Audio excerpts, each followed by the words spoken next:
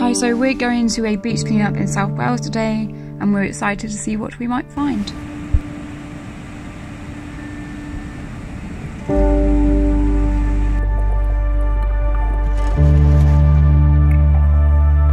So we keep finding loads of cans and stuff which A, sharks pick up, but then B, um, we see them quite frequently like really stuck under big rocks which we can't get up.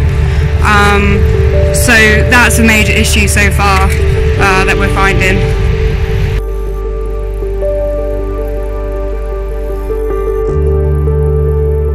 Okay, So we found some stuff here, but unfortunately we're going to have to leave it because it's so uh, ingrained into the ground and stuck in the rocks that uh, it's going to have to be left. But that's going to be the case for a lot of things that people just leave it and then it gets so caught up in, in all the beach stuff and the weather that it just has to stay, unfortunately.